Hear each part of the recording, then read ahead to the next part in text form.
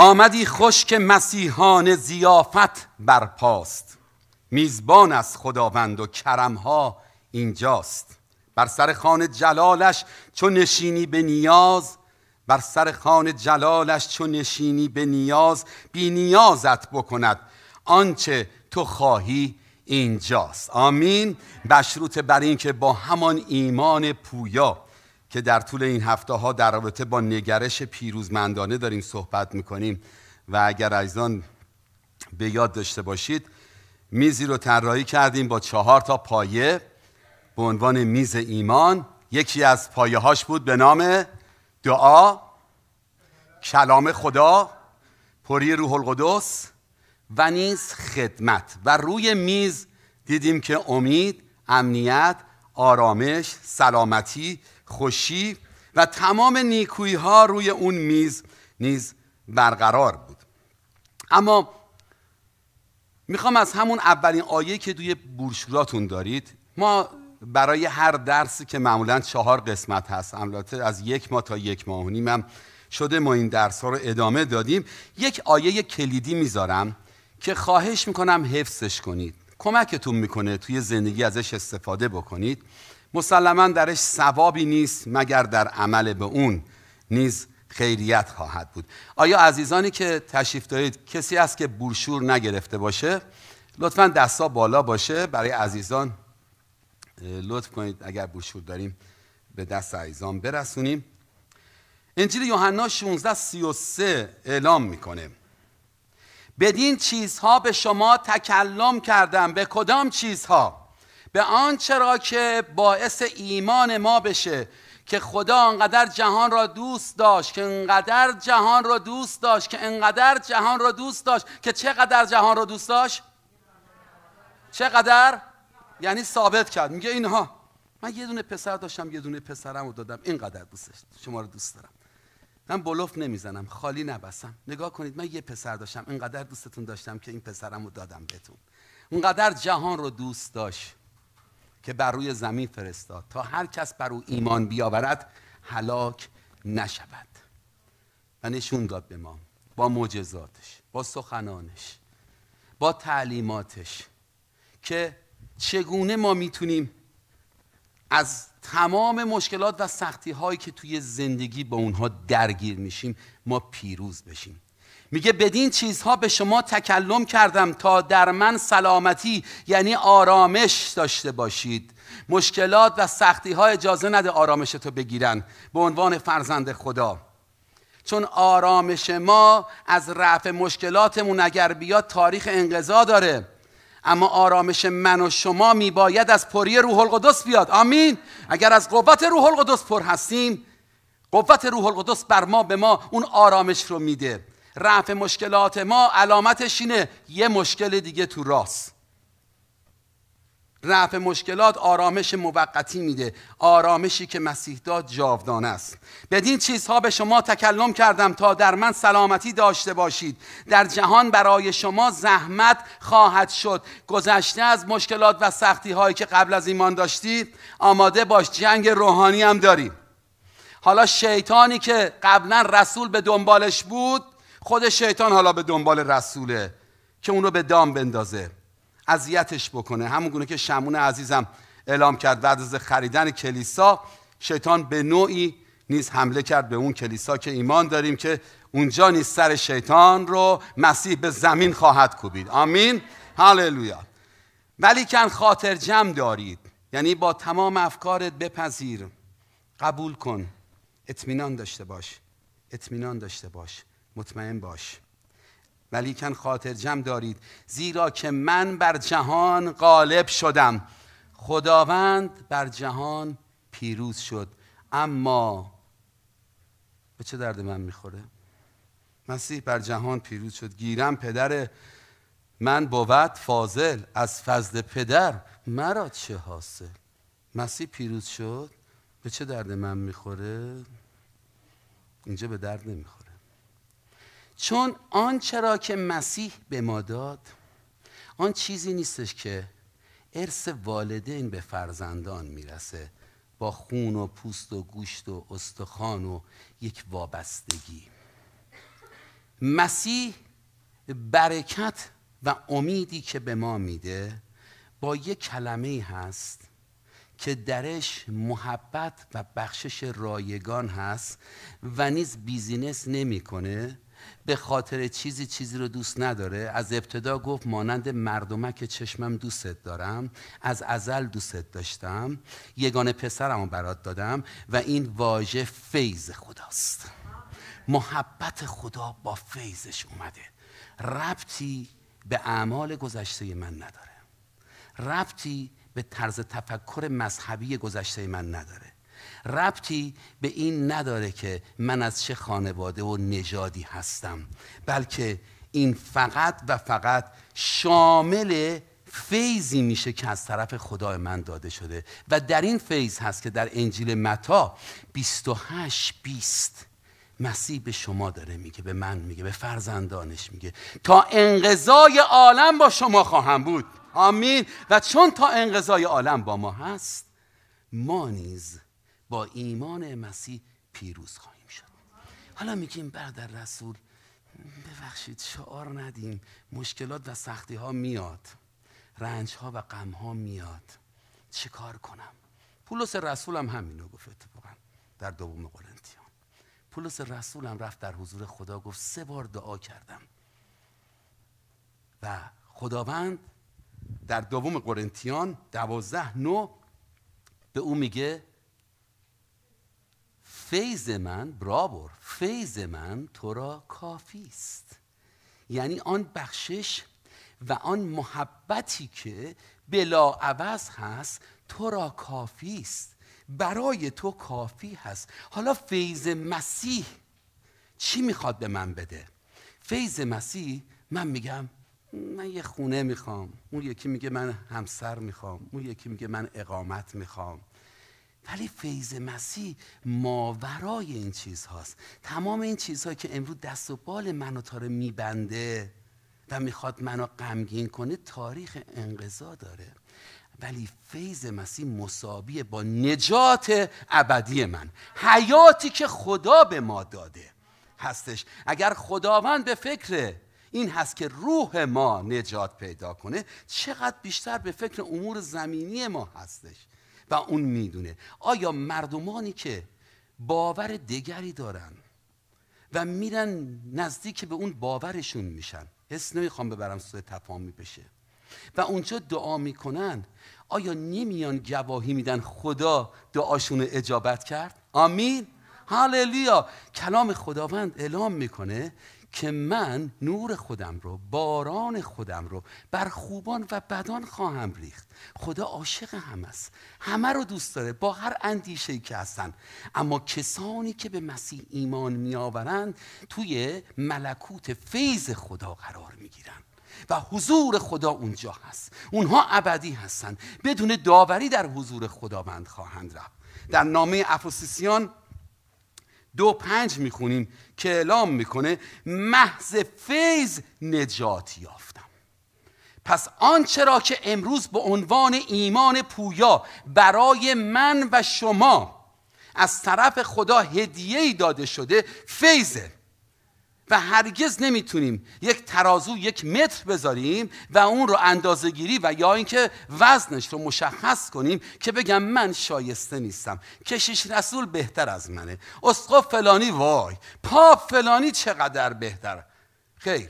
این فیضه شامل کسی خواهد شد که حتی اولین بار هست وارد این کلیسا شده و یا اولین بار هست داره عرایز منو گوش می‌کنه به توسط فیسبوک و قلبش به مسیح داده. هر آنچه که بخواد خدا بهش خواهد داد. با ایمان بطلب. با ایمان بطلب. از این رو هست. ایمان با اعتقاد فرق معتقدین خواسته و نخواسته دست و پاشون زنجیر.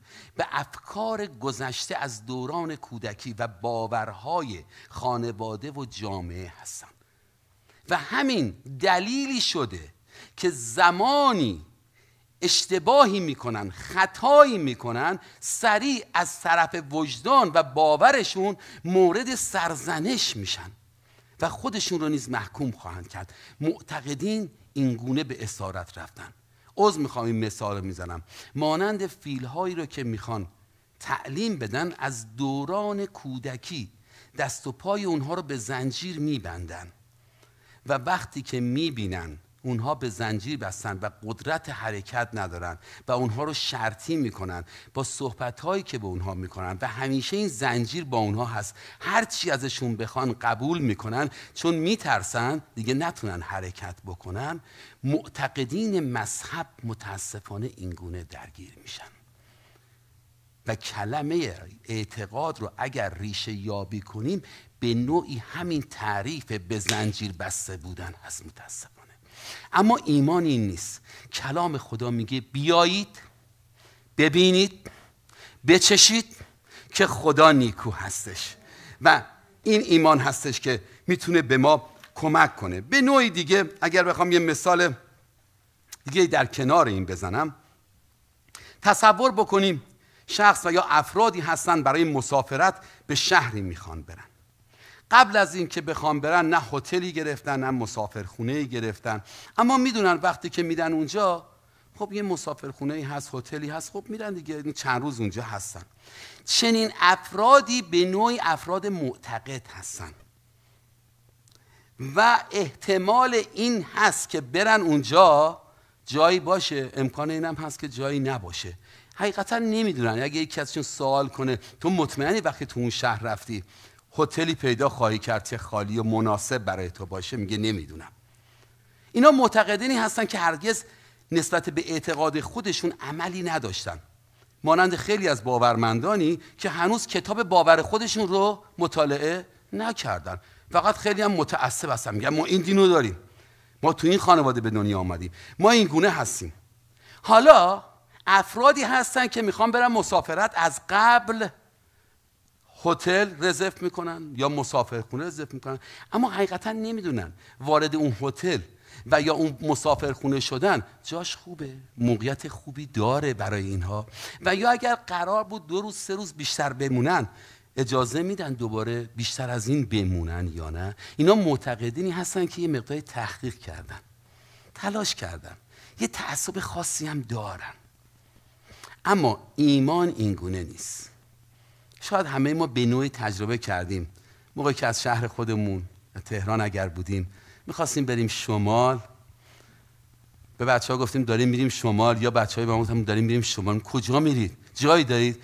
اونهایی که اونجا ویلا داشتن خیالشون خیلی راحت بوده. آره ما ویلا داریم. اتفاقا چند نفرم اونجا داریم که کارکنان اونجا هستن. خوراک آماده می‌کنن. به باغ و باغچه ویلای ما می‌رسن. ما با خیال راحت میریم اونجا جا داریم. شما می‌خواید بیاید.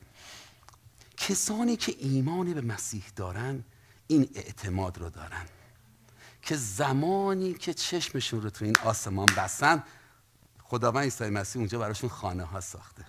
با ایمان میرن. حالا همین رو نسبت موضوعات زندگی خودت می‌تونید داشته باشیم. زمانی که ما این ایمان پویا و ایمان حقیقی رو داریم ایمانی هست که در گفتار و رفتار ما رو حمایت می‌کنه. و نشون میده ایمان ما زنده هستش. ایمان در اصل مانند یک رویا هست برای مسیحی. رویایی که می‌دونه در مسیر رسیدن به هدف خلقت او را حمایت خواهد کرد. رویایی که می‌دونه که در مسیر زندگی سالم او را حمایت خواهد کرد. رویایی که می‌دونه که درش ترس و ناامیدی و نگرانی هرگز نخواهد بود. و این ایمان شنیده میشه. توی فامیلا شنیده میشه توی دوستان شنیده میشه توی بین همکاران شنیده میشه. این گونه نیستش که از کلیسا بره بیرون بگه نه من هیچ باوری نه فقط دوست دارم برم کلیسا. نه. اعلام می‌کنه ایمانشو. وقتی می‌بینه یک نفر مریض هستش میره با قدرت میسته و میگه در نام عیسی مسیح می‌خوام تو شفا پیدا کنی اگر می‌بینه که دل شکسته هستش میره باهاش صحبت می‌کنه در نام عیسی مسیح و برای اون دعا می‌کنه. تا زندگی اون رو نیز عوض کنه. اگر می‌بینه که یه نفر میگه من نمی‌دونم حقیقت چی هست شروع می‌کنه از عیسی مسیح گفتن از خبر خوش نجات با او سخن گفتن. چرا که او با یک اعتقاد نیست با ایمانی است که زنده است و این ایمان رویای او هست هدف داره. مانند کلیسای پرستانه مسیح که ایمانش فقط این نیست که کلیسایی باشه جمعی از هموطنان عزیز ما لطف کنن بیان دور هم باشیم. که بسیار عالی است بلکه ما اینجا به فکر ایران و ایرانی هستیم که آنان نجات پیدا کنند. اونها را دستگیری کنیم. با حکمت و خردی که از خداوند نیز می‌خواهیم داشته باشیم. در کتاب حبقوق می‌خونیم.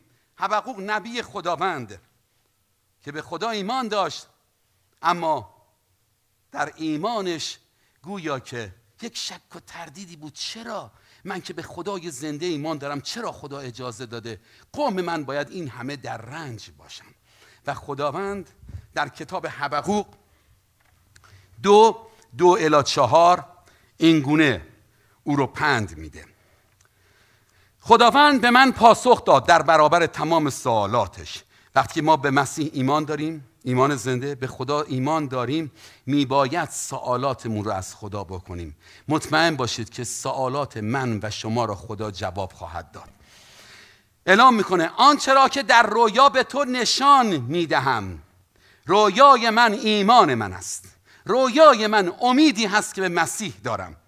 آنچه را که در رویا به تو نشان می‌دهم به طور آشکار خانا بر لوحی بنویس خانا یعنی مشخص باشه. ایمانت رو ببینن افراد. بنویس تا هر کس بتواند با یک نگاه آن را بخواند. واو! با یک نگاه. وقتی که من و شما رو توی خیابون توی محل کار تو مشکلات و سختی ها می‌بینن میگن اینا انگار با ما فرق می‌کنن. چه آرامشی دارن تو این مشکلات و سختی ها چه امیدی دارن. اهل قر و شکایت نیستند. سفت ایستادن. همچون ایوب اعلام می‌کنه که حتی اگر مشکلات و سختی ها مرا بکشد برای خداوند انتظار خواهم کشید. یک ایماندار این گونه میسته کاری نداره. ترامپ چی میگه؟ اوباما چی میگه؟ میگه خدایا تو به من چی میگی؟ تو که منو در این سرزمین آوردی. تو که در کتاب ارمیا 49 اعلام کردی. که در روزهای آخر ایرانی ها پراکنده جهان خواهند شد. امروز تو با من در سرزمین آمریکا چه کار داری خداوندا؟ آیا تو اجازه میدی که زندگی من بدون ثمره باشه در این سرزمین در اروپا بدون سرزمین باشه؟ هاشا چرا که ما از رویای خدا آگاه هستیم که خداوند در روزهای آخر بر قلب ایرانی ها سلطنت خواهد کرد و از ایران استفاده می‌کنه برای نجات خاور میانه اگر شیطان روزگاری با دروغ از کشور ایران استفاده کرد در آینده خدا در راستی از ایرانی ها استفاده خواهد کرد. اگر در گذشته از یک نفر به نام کوروش استفاده کرد در آینده خدا از همه ما استفاده خواهد کرد به نام هایی که به ما داده. تا در این مسیر در رویای زنده بیستیم. پس اجازه نده ضعف زندگی تو رو بگیره. چون خدا با تو کارهای بزرگتر از اینها داره. که دامن غم و اندوه گرفتی برای موضوعات زندگی خودت و مشکلاتت. و نیز اعلام می‌کنه. این رویا اکنون اتفاق نمیافتد. واو! آرزو می‌کنی دعا می‌کنی. میری در حضور خدا. میگه صبور باش. به من ایمان داشته باش. اتفاق میفته به ابراهیم و سارا گفتم بهشون بعد از 25 سال فرزند دادم. ناامید نشو. بیست. میگید 25 سال؟ نذاش تو این 25 سال بمیرن. خوب نیست؟ در طول هزاران سال داریم از اسمشون استفاده می‌کنیم برای اینکه به همدیگه امید بدیم. و از آنچه که خدا گفت از نسل او نیز نجات دهنده اومد. اما در وقت معین اتفاق خواهد افتاد. اینو کلام خدا داره میگه. در وقت معین آرزوی دل من و شما اجابت خواهد شد. مشروط بر این که با ایمان بپذیریم. و زمان آن به زودی خواهد رسید. آمین. می‌تونی تو دلت بگی زمان آنچه که می‌خوام به زودی خواهد رسید در نام مسیح. هر کسی بگه. بگو. بگو زمان آن چرا که خداوند براش دعا کردم. امروز دعا کردم به زودی خواهد رسید. آنچه را که به تو نشان می‌دهم حتما واقع خواهد شد. شاید تا وقوع آن مدت زیادی طول بکشد. ولی منتظر باش. چرا؟ چون کلام خدا میگه منتظرین خدا خجل نخواهند شد. آمین. و با ایمان نیز دریافت می‌کنم. زیرا وقوع آن زیرا وقوع آن حتمی و بدون تأخیر است. پیغام این هست. مردم بدکار. مردمی که به دنبال حقیقت نیستن. مردمی که به دنبال منافع خودشون هستن. مردمی که دستاویز اعتقادات و باورهایی هستند که حتی لحظه ای درباره اون تحقیق نکردند. پیغام این است مردم بدکار هلاک می‌شوند. خبر خوش نجات رو شنیدن بیتوجهی کردن بهش. اهمیت بهش ندادن. گفتن به ما چه؟ ما باورهای خودمون رو داریم. چه کار داریم به مسیح؟ که مسیح کی بوده؟ قبولش داریم دیگه. اما انجیل مسیح رو نخوندن.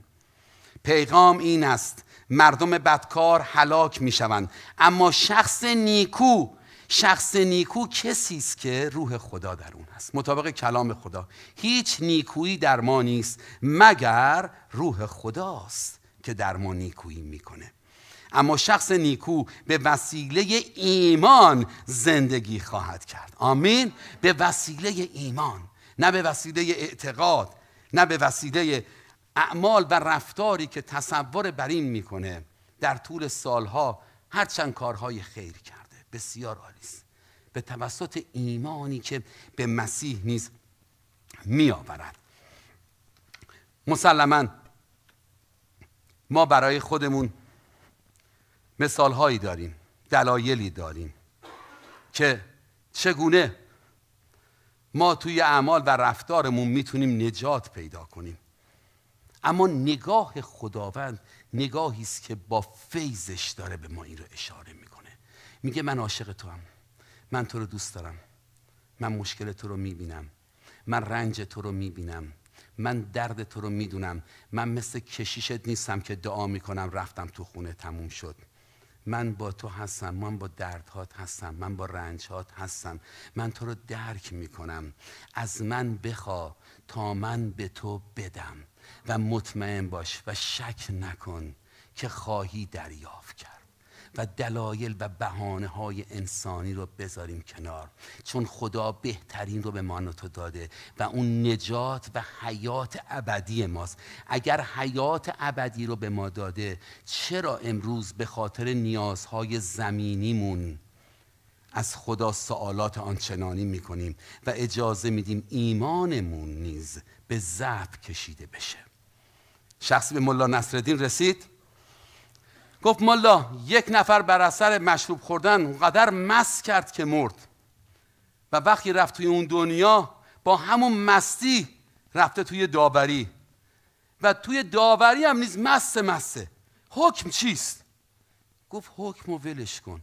به من بگو این مشروب از کجا خرید؟ مسیح برای حیات ما اومده. و گاهی من فقط گیر دادم به یکی دو تا قلم از نیازهای زندگیم که اگر اینها رفت نشه وای ایمان من لغزش می‌خوره و این گونه نخواهد بود. حتما در مسیر زندگیمون میباید دانشت رو زیاد کنیم آگاهیمون رو زیاد کنیم نسبت مسیح نسبت به امور زندگیمون. اما این رو بدانیم. دانش ما آگاهی های ما دلایل نجات ما نیستن. دلایل نجات ما چیه؟ فیض خداست. با این زندگی کنید با این کلمه زندگی کنید. اگر قبل از اینکه به ایمان بخوای فکر کنی به نجات در فیض خدا فکر کنی هرگز خودتو محکوم نمی کنی به خاطر آنچه که خواستی هنوز خدا بهت نداده. می‌دونی فیضش عمل خواهد کرد. شخصی به نام نیقودیموس در انجیل یوحنا باب سه مسیح رو شبانه ملاقات می‌کنه. جزوی از رؤسا و کاهنان در اون زمان بود.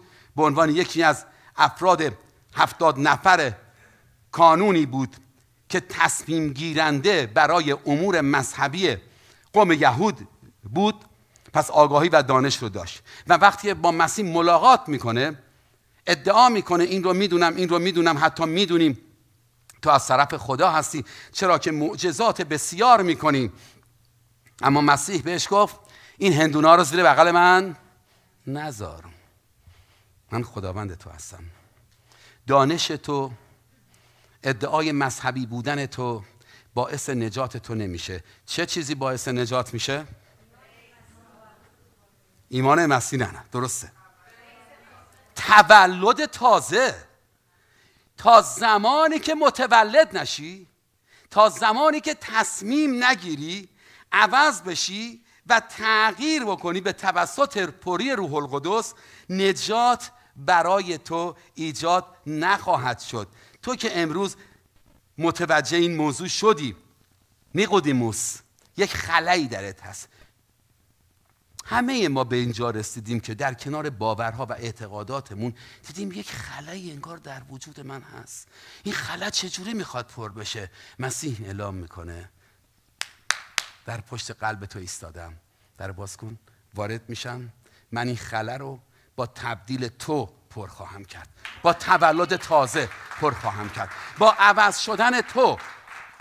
من و شمایی که در تصور بر این هستیم اهل خانواده و مملکت ما و مردم ایران باید عوض بشن. خداوند میگه اولین قدم این هست که رسول تو عوض بشی. تا یک نمونه خوبی باشی برای عوض شدن دیگران. از این رو پیام مسیح پیام یک نبی و پیامبر فقط نیست. پیام مسیح فقط یک معجزه و معجزات بسیار نیستش. کار مسیح فقط این نیستش که تعلیم بده همچون موسی و سموئیل. و الیاس و الیشم. حکم مسیح امر معروف و نهی از منکر فقط نبود مانند ارمیا و حزقیال و اشعیا و سلیمان. اراده مسیح بر زمین تولد تازه و تبدیل و تغییر آنچه بود که ما می‌خواهیم اما نتوانستیم. و حال مسیح میگه ایمان بیاور قوت تو خواهم شد که تو بتوانی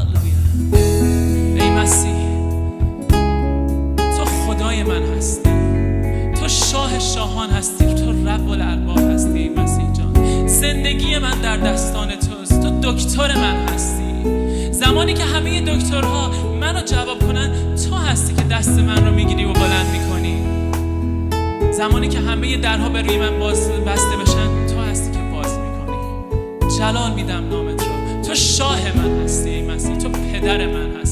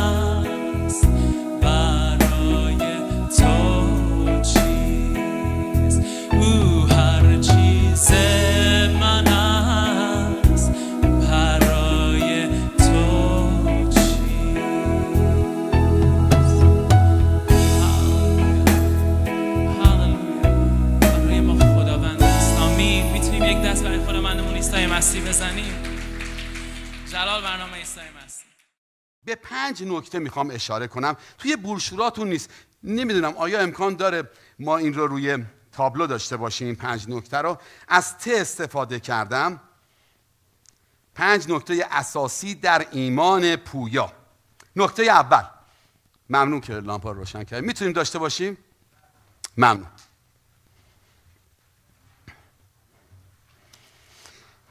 بارها از من شنیدید. مسیحیت یعنی مسئولیت. اگر مسیحیت مسئولیت هست پس بعد از خداوند من نیز سهمی دارم. می‌تونید حتی عکس بندازید عزیزان اگر دوست دارید یا بنویسید این نکات رو. نکته اول تولد تازه از طرف مسیح است. آمین. که بهش اشاره کردیم انجیل یوحنا باب سه. اما سهم من چیه؟ تصمیم.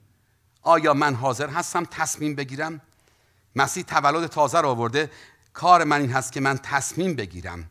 قدم من این هستش که به آنچه که مسیح اعلام می‌کنه من در مسیر توبه حقیقی و تقدیس شدن نیز از صمیم قلب این کار رو بکنم. مطابق اعمال رسولان 11 23 نکته دوم تعلیم از طرف مسیح به توسط کلام خدا و نیز روح القدس. اما کار من تحصیل. تحصیل از من به توسط کلام کلام خداوند کلیسا مشارکت کاری که امروز شما انجام می‌دید و نیز مطابق نامه افسوسیان پنج ده که اعلام می‌کنه. تحقیق کنید که پسندیده خدا چیست. حتی عرایز منو لطفا تحقیق کنید. خواهش می‌کنم. چون کلام این رو به ما میآموزه. ما برخلاف مذهبیون هستیم که به شما بگیم سوال نکنید. معمولا توی کلیسا در زمان موعظه بهتر هست که سوالی نشه. اما بعد از موعظه خواهش می‌کنم اگر سوالی هست لطفا از من و هر عزیز دیگه که میاد اینجا اگر دارید سوال کنید.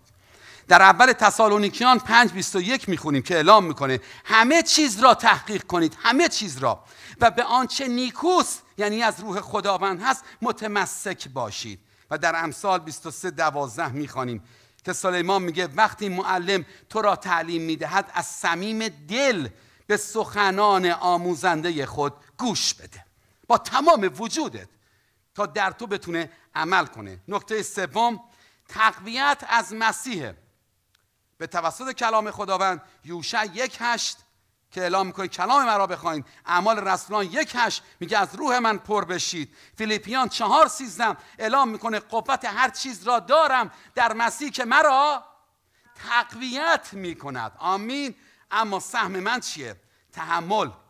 تحمل در اجرای اراده خدا در بخشش در محبت در خدمت در وفاداری در رابطه هم مطابق متا 24 13 اعلام می‌کنه. لیکن هر که تا به انتها صبر کند نجات یابد. هوشیار باشیم اینا آیات هوشیاریه. دوم تیموتائوس دو سه اعلام می‌کنه. چون سپاهی نیکو یه مسیح عیسی در تحمل زحمات شریک باشید یک نفر همچون یک سپاه بیسته برای محبت کردن برای نیکویی کردن.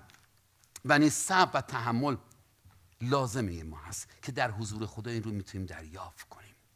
شخصی میره به کشیش میگه من نمی‌دونم آخه چقدر دعا می‌کنم. هر چی دعا می‌کنم دعاهام اجابت نمیشه. هر چی از خدا می‌خوام نمیشه. اینا دیروز اینو خواستم نداد پیروز اینو خواستم نداد پس پیرو اینو خواستم نداد. کشیش متوجه میشه که یکی از بزرگترین نقطه ضعف این شخص عدم صبرشه. میگه ببین اینا رو نخوا برای اینکه اینا اجابت بشه اول برو از خدا صبر بخوا میگه چشم میره در حضور خدا. میگه خدای من صبر می‌خوام صبر می‌خوام همین الان می‌خوام. تو باشه من همین الان اینو بده گاهی هستش که ما متاسفانه نسبت به نیازهامون آنقدر عجول میشیم که حتی نمی‌تونیم یک نگاه درست بکنیم. آنچه که می‌خواهیم حقیقتا به درد من می‌خوره یا نه. نکته چهارم تشویق از طرف مسیح هستش که ما فرزندان او هستیم. یکی یکی بگیم ما در مسیح شاهزادگان هستیم بیشتر. سفیران هستیم بله.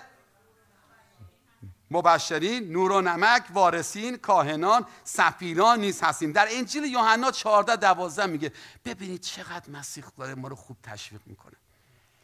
مسیح مثل اساتید روی زمین نیست که یه سکرت رو نگه داره. مثل اون استاد کوزگر سر فوتو نگه داشت. مسیح این کار رو نمی‌کنه. مسیح تمام اون سکرت ها رو به فرزندانش میگه. در انجیل یوحنا 14 12 اعلام می‌کنه آمین و آمین به شما می‌گویم هر که به من ایمان آرد. نمیگه هر که ایمان آورد کارهای بزرگ آنچنان بکن خیر. میگه هر کی ایمان بیاره. سنشو نمیگه. مال کجا هست و نمیگه. قدشو نمیگه. پوستشو نمیگه. فقط میگه هر کی ایمان آورد کارهایی را که من می‌کنم او نیز خواهد کرد. واو. و بزرگتر از اینها نیز خواهد کرد. یعنی به این اکتفا نکرده. امروز از خداوند چی می‌خوایم برای زندگیمون برای دیگران. با ایمان بیست. چون خدا اون رو اعلام کرده که ما داشته باشیم. ایمانی که درش یک عمل هست و یک قوت هستش. اما کار من چی هست؟ می‌تونید بخونید. کار خدا تشویق کار ما چیه؟ تلاش هست. تلاشی که برای خدمت کردن برای محبت کردن مطابق انجیل متی 28 19 رومیان 12 11 که اعلام می‌کنه. در اجتهاد در خدمت عزیزان اگر می‌خوایم ایمان ما رشد کنه لطفا قسمتی از زندگی تو بذار برای خدمت. قسمتی از نمی‌تونی به هیچ وجه حالا آخرش می اصلا شخص نمی‌تونه هیچ خدمتی بکنه. قسمتی از پولت رو درآمدت رو بذار. خدا برات اندیشه خواهد کرد. وقتی که خدمت می‌کنی روانت لذت می‌بره. همه ما تجربه کردیم. وقتی محبت می‌کنیم خوشحال نیستیم شاد نیستیم. حتی به کسایی که ما رو اذیت کردن محبت کردیم یک آرامش می‌گیریم. این آرامش درسته که از نظر ساینس و علم مواد شیمیایی که در مغز ما تولید میشه باعث شادی ما میشه. اما همه این سیستما رو خدا گذاشته. که ما در مسیر محبت ازش استفاده کنیم. آمین. لذا که ما ماورای اون فکر می‌کنیم. وقتی محبت می‌کنی حضور خدا روح خدا با توست و تو رو پر از شادی خواهد کرد. در اجتهاد کاهلی نورزید و در روح سرگم شده خداوند را خدمت نمایید نکته آخر از طرف خدا تکمیل شدن ماست. این خداوند هست که خدمت ما را به کمال میرسونه. زندگی ما را به کمال خواهد رسوند. مطابق متا 5 48 لاویان 19 20 تصنیه 18 13 و نیز آنچه که خدا می‌خواد در ما باشه برای کامل شدن اراده خداست. حالا تایید من و شما. چرا تایید من و شما؟ چون ما آزاد آفریده شدیم. خدا ما رو آزاد آفریده. خدا بهترین پیشنهادات رو بهترین ضرورت ها رو بهترین امر رو نه ما آزاد آفریده شدیم. خدا از من و شما اطاعت نمی‌خواد. توی مذهب اطاعت هست. در مسیح اطاعت نیست. در مسیح چیه؟ وفاداری است. برابر. در مسیح وفاداری است. وفاداری از عشق میاد. وفاداری روبروش مسئولیته. اما مذهب به ما وظیفه میده که وظیفه رو باید انجام بدیم. اما مسیح از ما می‌خواد که ما وفادار به او باشیم. وفادار باشیم از این رو خداوند می‌خواد زندگی من و تو در خوشی در امنیت در آرامش در شادمانی در سلامتی در تمام موارد پیروزی هاشو داشته باشه. آیا تایید می‌کنی؟ میگه خب برادر رسول کلام خدا میگه اراده اون رو بخوایم. این چی میشه؟ اراده خدا طریق خداست.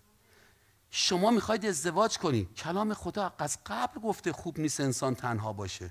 پس خدا به یه فکری هستش که شما رو از تنهایی دراره. شما میگید من اقامت تو این سرزمین رو می‌خوام. یا سرزمین اروپا هر کجا که هستم. کلام خدا میگه خدا ولا تکلیفی رو دوست نداره. شما میگید من سلامتی رو می‌خوام. خداوند میگه من صاحب سلامتی هستم. شما چی می‌خواید که خدا اون رو نخواد؟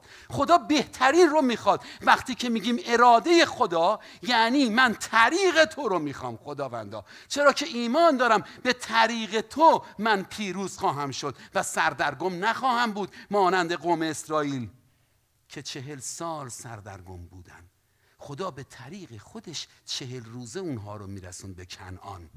پس سهم من در آنچه که خدا می‌خواد تکمیل کنه تایید اراده خداوند هستش. یعنی آمین به اون. همون گونه که در نامه افسوسیان چهار سیزده می‌خونیم. اعلام می‌کنه تا همه به یگانگی ایمان و معرفت تام پسر خدا و به انسان کامل به اندازه قامت پری مسیح برسیم. آمین. آیا حاضر هستیم؟ تایید کن. آنچه که آرزوی دلت هستش. بریم با هم دیگه. انجیل مرقس 9 14 الی 29 رو داشته باشیم. چون پس چون نزد شاگردان خود رسید. مرسی.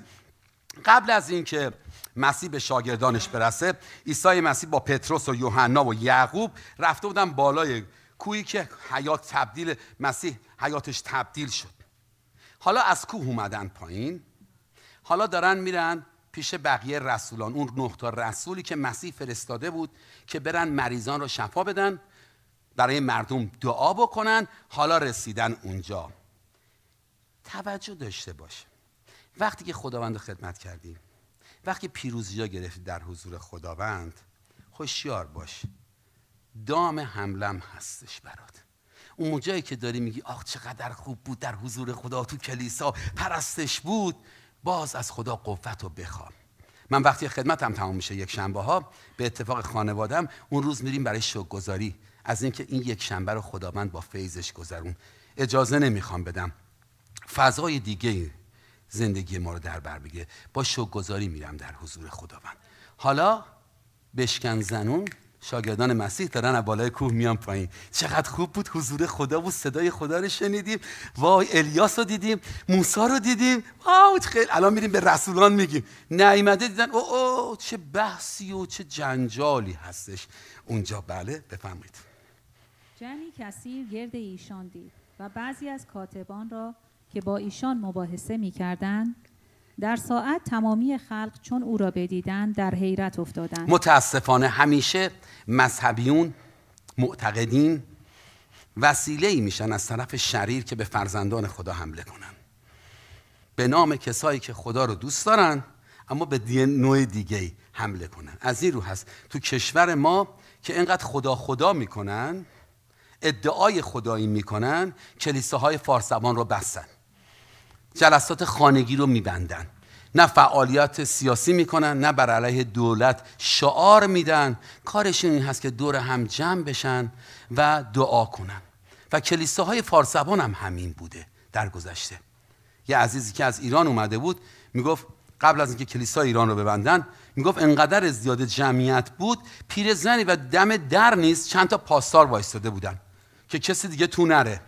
می‌گفت یه خانم سن خیلی بالایی با چادر اومد داشت می‌رفت تو پاسدار نگاه که تو کجا میری با این چادر اینا؟ گفت برو می‌خوام شفا بگیرم. گفت چه جا نیست گفت برو می‌خوام شفا بگیرم. من گفت دیدم خب سنش بالاست. در باز کردن رفت. رفت یه 20 دقیقه دیگه اومد. گفت چی شد؟ گفت خب شفا گرفتم اومدم دارم میرم. این حقیقت داره. کلیسایی که درش باز شده برای ترک اعتیاد برای آرامش برای تسلی اما مذهبیون توی ایران مانع میشن. هرگز هیچ کلیسای زنده ای هیچ مرد خدایی در مسیر این نیستش که حکومت مسیحی سیاسی رو بخواد ساکن کنه. هرگز. معترض میشیم به دولت های فاسد. اما هرگز هدف ما برای این نبوده. ولی می‌بینید مذهبیون همیشه بر علیه مسیح بودن. برای همین هست. مسیح لا مذهبه. و ما نیز لا مذهب هستیم. ما با مذهب هیچ کاری نداریم. ما با عشقی کار داریم که چهارگان است. اونقدر میگم حفظ بشیم. عشقی که با خدا هست. بله. بفهم خوش و دوان دوان آمده او را سلام دادند آنگاه از کاتبان پرسید که با اینها چه مباحثه دارید؟ یکی از آن میان در جواب گفت ای استاد پسر خود را نزد تو آوردم. که روحی گنگ دارد و هر جا که او را بگیرد می اندازدش.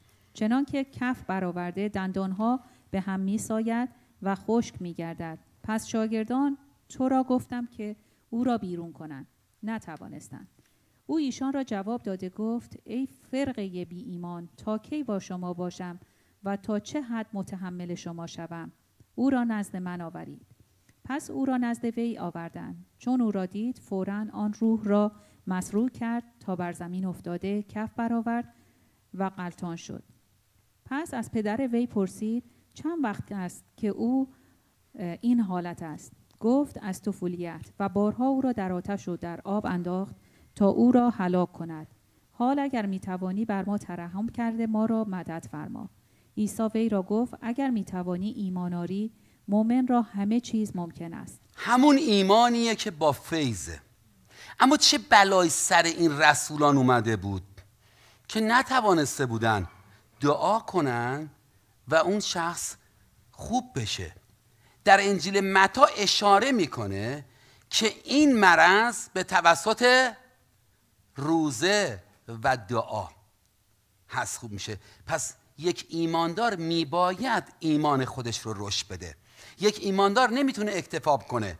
ایمان برای من و شما یک ایمان پویا مانند نفس کشیدن هست مانند خوراک, خوراک هست مانند نوشیدن هست که باید ما استفاده بکنیم تا رشد بکنیم. نمی‌تونیم بگیم ما ایمان مسیح آوردیم تعمید گرفتیم یک کلیسا میریم. خیر میباید در حضور خداوند قوت گرفت.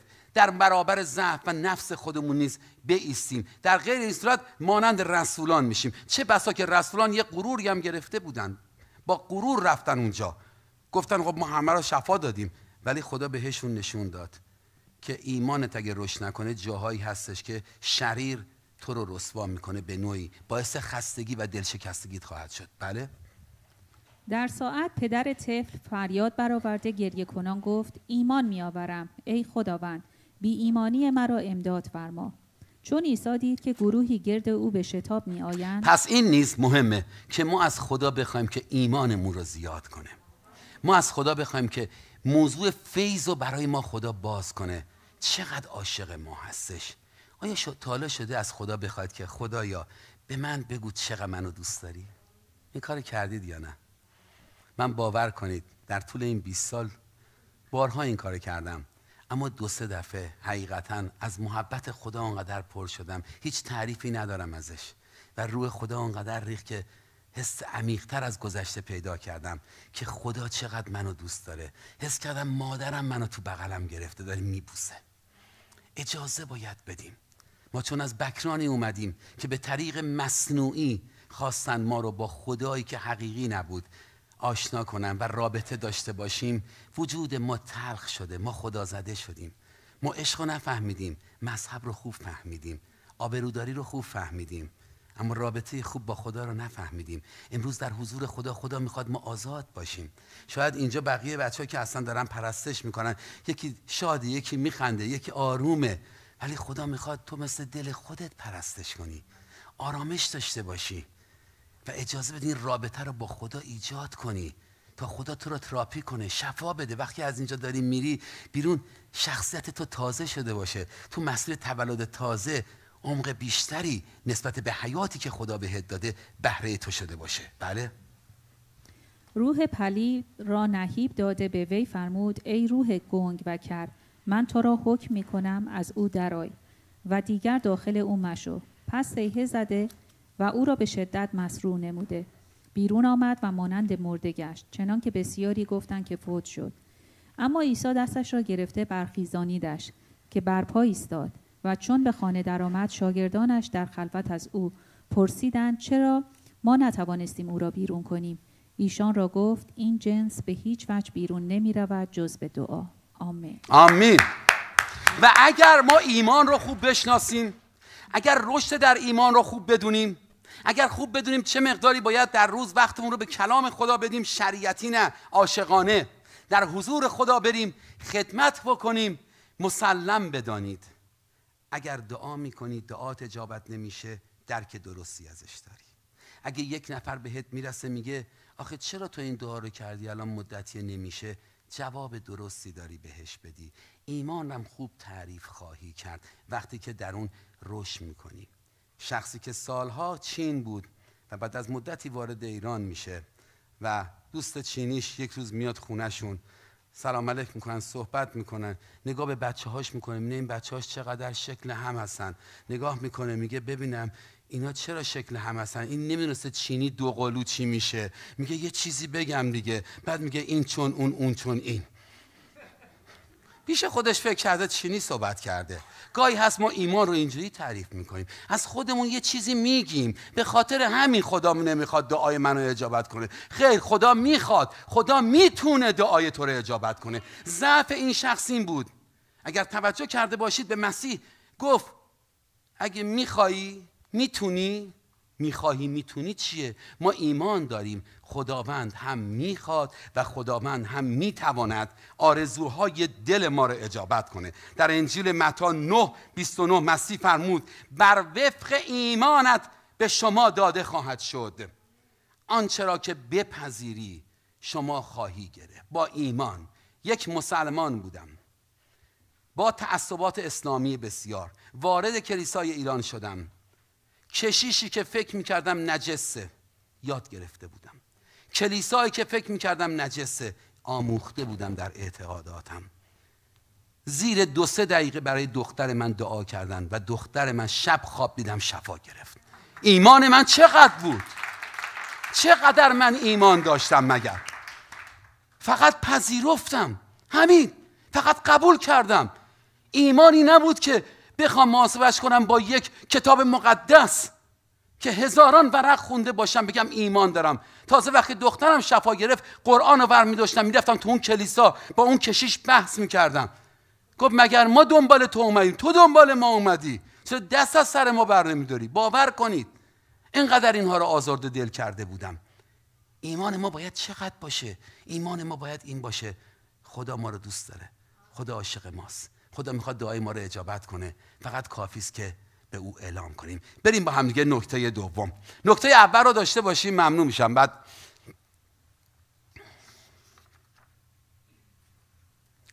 نکته اول چگونه نگرش پیروزمندانه داشته باشیم؟ عزیزانی که بورشور ندارن دستاشون بره بالا. بورشور دارید همه؟ دستتون بالاتر باشه. 500 دلار ازشون بگیرید چون دیر اومد چگونه نگرش پیروزمندانه داشته باشیم؟ حالا اونا که ما دارن رو فیسبوک می‌بینن شوخی کردیم. ما کسی پول نمی‌گیریم. نکته اول نگرش پیروزمندانه در زندگی برای رسیدن به اهداف با آگاهی پویا. باید خودمون رو update کنیم. مدام باید update بشیم. تازه بشیم. با آگاهی پویا در کلام خدای زنده امکان پذیر است. نکته دوم نگرش پیروزمندانه در زندگی برای رسیدن به اهداف با ایمانی پویا در شناخت خدای زنده امکان پذیر است تا بر هر شکی غالب آییم. نقطه ضعف من و شما نسبت به دریافت دعاهامون ویروس شک و تردید هست که میباید کاملا از خودمون دور کنیم و اون رو در حضور خداوند در دعا و روزه نیز می‌توانیم دور کنیم. اجازه ندیم مشکلات و سختی ها دلیلی بشه که ما خودمون رو توی جایگاه بدی ببینیم. پولس رسول وقتی تو اون مشکلات و سختی ها هست اعلام ضعف نمی‌کنه. اعلام ضعف نکن تو سختی ها و مشکلات. اعلام پیروزی کن. دوم قرنتیان چهار هش اعلام می‌کنه. از هر طرف تحت فشاریم. ولی خرد نمی‌شویم. پس اعلام نکن. می‌دونیم که نابود نمیشیم. می‌دونیم دعامون اجابت میشه. گاهی دچار شک و تردید می‌شویم. پس این طبیعیه. پولس رسول هم شد. اما تسلیم ناامیدی نمیگردیم. اعلام نکن ناامیدی رو. شک و تردید میاد طبیعتا برای ما اما هرگز اعلام نکن و مطمئن باش که خداوند مطابق فیضش ما را برکت خواهد داد. بریم با هم دیگه آخرین آیه هم نیز داشته باشیم. نامه اول یوحنا پنج سه الا پنج. ممنون میشم. زیرا همین است محبت خدا که احکام او را نگاه داریم و احکام او گران نیست. زیرا آنچه از خدا مولود شده است بر دنیا غلبه مییابد و غلبه ای که دنیا را مغلوب ساخته است ایمان ماست. آمین. کیست آن که بر دنیا غلبه یابد؟